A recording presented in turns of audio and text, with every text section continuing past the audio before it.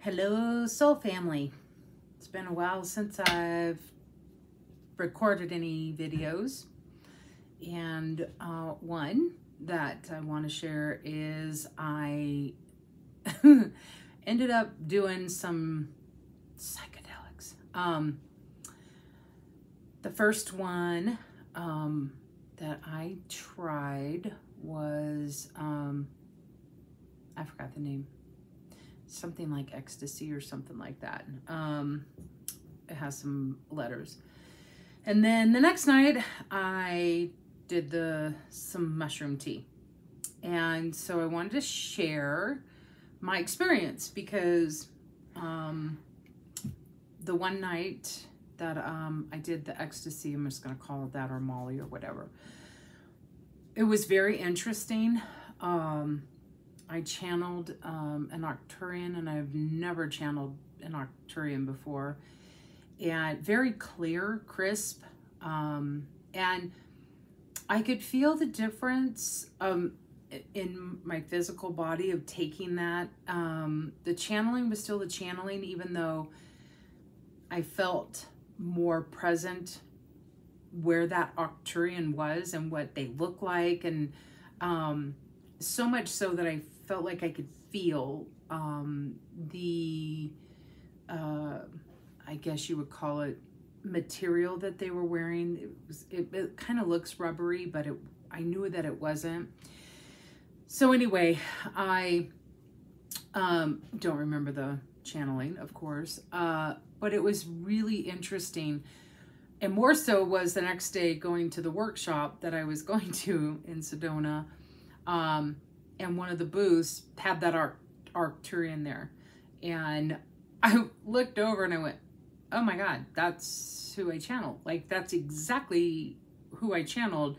And this guy in the booth, that's who he channels. And so that was super interesting. And even more so was interesting was, um, I do remember kind of being chastised uh, for taking this Molly or whatever ecstasy and um not in a sense it was more like you know you don't have to do this you already travel and you already do this and i was like i know and you know i'm i'm having the experience so i can have the experience and you know kind of check it off my box and um it it wasn't that it was something that i would ever want to go do again just because I it it wasn't really anything different. But if you haven't had those experiences, I can totally see why people, you know, wh- why they do this. And so, um, so that you know, it seems kind of vague, um, but it was, it was really just it, the whole experience was super, kind of you know relaxed and chill, um, and you know very enjoyable. Um, wasn't, you know, if you like smoke, you know, weed or whatever, that you get high, um, where I've done that before and then I feel like I get too high and I like too spaced out. So, um, I, it's, I can't smoke weed, um, just because I get too out in the ethers. And this didn't make me feel like that. So if I had a choice, I don't know where to buy it, but I would say, oh, I would do that actually over weed um, if I was going to have an experience. But um, anyway, that that was my first one. The next night, um, had mushroom tea, and I ended up having like an acid trip. And uh, which mushrooms are not supposed to do that. Uh, you're supposed to get really grounded. Uh, this is just what people say. And of course, I knew that I was kind of taking a risk um, because of who I am and what I know about myself and what I do and where I go and who I communicate with. And so, uh, but I really wasn't expecting everything that happened with that. So, uh, I don't remember all of it. I do remember feeling like I was going to throw up the whole time, which was not pleasant. I thought if I move, I'm going to have to crawl on the ground to the bathroom because I will not be able to walk. And I'm I'm gonna throw up the whole way. And so I did not want to do that. So I literally felt like I just have to sit here and wait this out. It was super multi and, and it wasn't multi-dimensional. It was actually being within our own dimension and seeing everything that our eyes do not see. So it was like i saw the you know our ley lines that go they're they're like white um uh shadowy uh lines that come down. Then i saw pixels everywhere. Not this didn't all happen at the same time but uh, you know, looking at the other person, I'm all, oh my gosh, I see all the pixels. Like, you know, the snowy TV, but they were all in color. They, they, everything was in color. Um, and then I saw the Matrix. Um, and then lines, you know, going across the top of us. And I thought, this is really interesting. Thank God I do not see this all day long because one, it would be exhausting. Um, and it was very interesting to see that. And I just kept thinking, oh my gosh, I would not want to see this.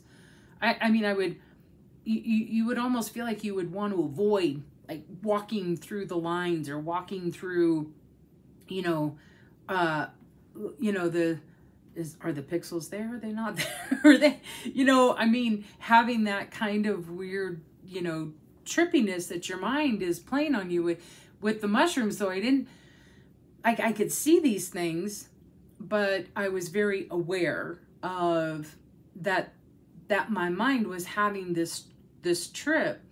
And you know the other thing i could see was how the mind rolls over the information. So it felt like uh, um, you know the the pictures that move and you stare at it long enough and then you see things that are moving that's what they were showing the mind to be that our minds just kind of roll over and almost have this repetitive um, energy about it because it's just the brain. It's not, it doesn't do anything, but it, the energy that is associated with it is just repetitive until we make a change in it. So that was, it was really interesting. I think if I'd not felt like I was going to throw up the whole time, it would have been different. I really felt like I was on an acid trip and um, so that part I didn't care for because I've never wanted to do LSD even before I was truly aware of all my um, abilities and so I just didn't it was not something that I ever wanted to do. So the fact that I had this when I was on shrooms, I never want to do that. Um, so the other part of of it was I mean um the intensity right in the beginning was super overwhelming.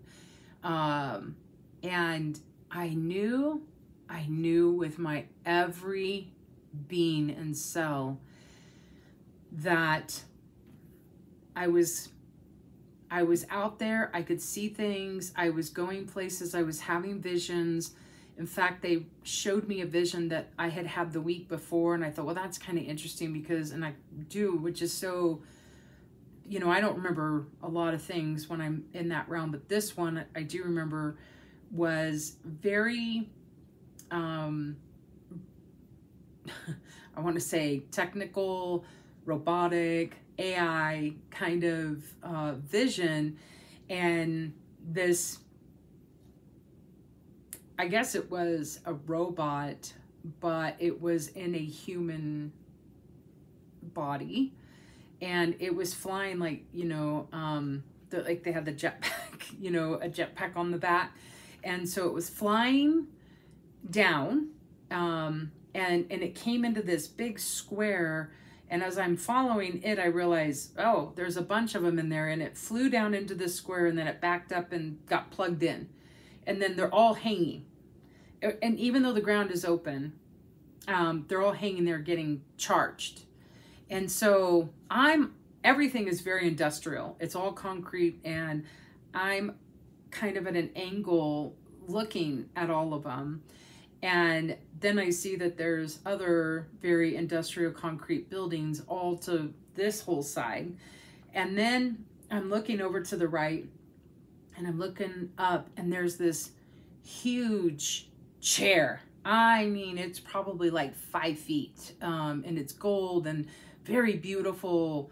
Um, I don't even know what the material is. It, it, it, was shiny silk. I mean, it was just stunningly beautiful with um, like a, um, a very indigo color with gold um, designs through it. And the, the legs were gold and the, the um, side rails were gold. And, um, and so, um, and it's underneath this, this canopy and nobody's sitting in it. And then I'm looking at it going, well, that is seriously out of place. Like that bench. I mean, who, this is all very industrial and cement and, you know, gray. And then there's this beautiful bench. And so I'm looking at it and then I realize there's this robotic thing behind it that has long legs and it has these arms that come out, oops, arms that come out. And, and the, the top part of it spins and looks at me. And I went, oh shit, I'm caught. you know, I'm seen. And, you know, I've had those experiences before where I'm all, uh, uh-oh, you know, they know I'm here. And without, I, I mean, as soon as I'm having this thought, one of the arms just reaches out, comes down and goes bink and picks me up like, like a cat, you know, with by the back of my clothes and then puts me right on that like bench. And it wasn't really a throne, um, but it if it had a back or something like that, I would say look like a, a throne. And as it was carrying me, I'm thinking, oh my gosh, oh my gosh, what what is what do I do with that? So um and nothing, right? It just dropped me down and I'm sitting in it with my hands on my sides and I'm looking around. There's nobody there, so I don't know why there this this bench was there, this elaborate bench it's not like there was people looking up or anything like that. So it was just super, super weird. Um, which, you know, coming from me always cracks me up when I think things are weird. So then, uh, so that was one of the visions they had shown me. Um, there was a lot of, I, I was traveling through the galaxies, which is not uncommon for me to do. Um, and I kind of felt like I might have had a jetpack on because I seemed to be going really fast by in the galaxy and their planets um, and like cruising at, at, a very fast speed, um, flying through the whole thing. I never landed on any of them, um, but I do know that I was going out there. And then all of a sudden, um, I got pulled back in. And I thought, okay, I just got to sit here. I got to sit here. I can't go out anymore. If I go out anymore than what I just did, I'm not coming back. Like I kept hearing that just just hold on, just hold on to this line because it felt like that I hit a mark where the mushrooms got even more intense. And so I literally felt that I was holding something, but I wasn't. I just had my hands and I do remember like, you know, shaking my leg, uh, thinking, okay, okay, how long does this last? You know, three, three and a half hours. Great. Okay, great. You know, okay, okay, we can get through this. We can get through this, you know. Um, and so that was kind of, I had to hold on until I, I don't know how much time, but I could tell that it was slowly starting to, to, um, uh, wear off and I could not close my eyes. If I closed my eyes, I was just like that nauseous feeling and it felt like I just wasn't coming back. I, I cannot tell you. I, it just felt like, and I couldn't say it. Like, I, I didn't know how to describe what I was feeling but I kept thinking, I'm just not coming back. I'm not coming back. I have to stay awake. I have to stay awake. Um, and then as it started wearing off, I could, uh, you know, close my eyes and then I wasn't going to puke. And I could breathe a little bit deeper and relax and not, you know, fight whatever was, was going to come. Um, and I was able to engage and laugh and, and and that part of it but man in the beginning it was super intense that i'm not going to say that to to my knowledge people that i have talked to the people that i was with and hence the other people that i know that have done shrooms have all said to me that's not what happens when people do shrooms like that's just not the norm and i'm all i know of course, everything that I do is not the norm. So I wasn't surprised, but I was kind of surprised that I felt like I was having an acid trip.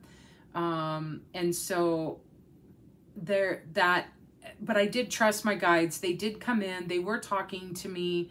Um, they were giving me guidance. And so I felt like as long as I just kind of held this imaginary, kind of like a rope, um, and and I just kind of kept holding on to it and waiting um, to let the intensity go that I was just going to be okay.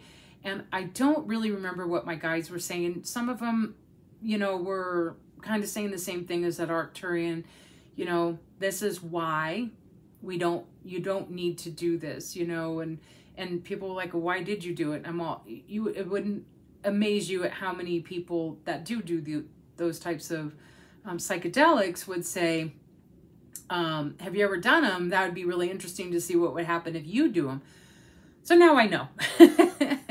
now I would, I would love to be around a group that are on shrooms or even LSD or something so that I can follow along and see what happens with people and where they go and what they see. Um, I think that would actually be more enjoyable for me now going forward if that ever were to happen um, because it, um, I, it's really hard to explain how you feel that you can go out there and for some reason you just won't come back. It's a very, it's, it's almost, um, like a love-hate relationship in a sense where your your curiosity is going but yes where do you go? And then what happens? Is it does it happen to the brain? You know what checks out? Where do you go? And and how come you can't come back you know? So i had i had all those questions but i wasn't going to test that theory or those that line of thinking or you know whatever i was going through. So um anyway i uh, but just wanted to share because um, I do get a lot of people that ask me about that, and so now I know that I'm I'm good. Um, I won't need to do them again, but um, yeah, that was an experience that um, I, am glad I had it. I'm so glad I had it. I, I'm I'm glad that you know I did it in the environment that I did do it in, and um, that the, in there's no more it's not questioning so much but it is just going that's just an experience so you know people are looking to um, have a psychedelic experience there's you know I, I feel right now that the veil is getting thinner and thinner. You, you don't need to have the psychedelics to go out there um, and and we're seeing this more and more. Um, and so, but if there is a challenge with getting into that space or allowing yourself to really just go out there and see like what, you know, things are capable. Oh, that was the other thing. the arms of the other people felt like, um, um, the, what's the elastic guy? Um, the rubbery guy that his arms can go out and they're like rubber. Um, that's what everybody's arms look like to me. Um, so I had that even moment for a, a, little bit. And I, and it's funny because it's, it's such a out of ex body experience in a sense where you're looking at it going, that's weird that I, that's what I'm perceiving. But I also am thinking very clearly that that's really weird that I'm seeing. so kind of having this, hmm, I see that. I can tell that the psychedelics are making my eyes see that. And at the same time, I know that that's not real, but it's a trip to be able to clearly put in kind of perspective that you know that it's not real, but it's a trip even seeing it. So, um, so anyway, um, it, you know, all, all good. It was all good. Um, but I don't recommend anybody just going out and doing them. Um, if anybody is interested, um, I do have someone in Colorado that um, kind of uh, helps the journey along if anyone is interested. So you can reach out to me and I'm happy to share um, his information. Um, so, but you know, it's, it's not for everyone. Um, and uh, it's, it's definitely different. So, um, anyway, that's my story on psychedelics. Um, and you all know we're all psychedelic, right? So anyway, all right. Have a good one. Talk with you later. All right. Bye.